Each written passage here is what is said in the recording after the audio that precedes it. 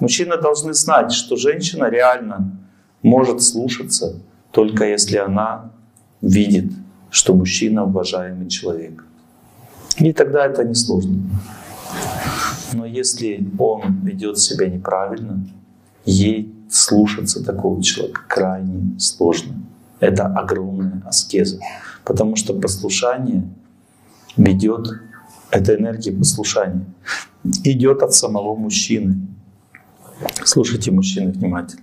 Когда мужчина принимает женскую природу не только как объект наслаждения, а также как личность, когда кто-то красивый очень, этого человека трудно воспринимать как личность. Смотрите, приведу пример.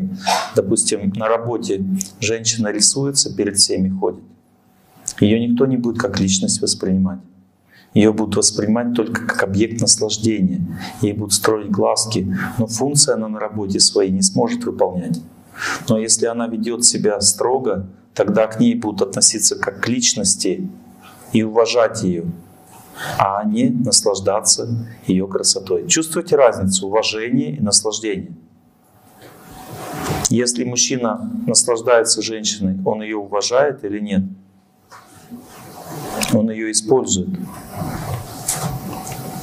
Поэтому мужчина также должен научиться и уважать свою жену. Это аскеза. Потому что хочется эксплуатировать ее красоту. Когда мужчина эксплуатирует красоту, женщина говорит, слушай, послушай меня, я тебе кое-что хочу сказать. Говорит, меня ничего не волнует. Пытается целоваться там и так далее. Это эксплуатация. Но когда женщина видит, что он только целоваться хочет, а выслушать не хочет, она чувствует, что она не может так жить. Она испытывает большие страдания, потому что послушание в сознании мужчины означает принятие женщины как человека, как личности.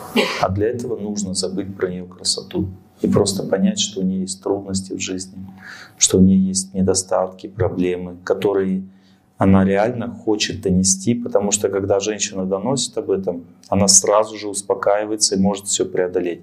Причем ей даже не нужно подсказывать. Наоборот, когда мужчина пытается за нее решать ее проблемы, женщина часто очень сильно протестует. Потому что ее цель отношений — это чтобы мужчина просто дал поддержку,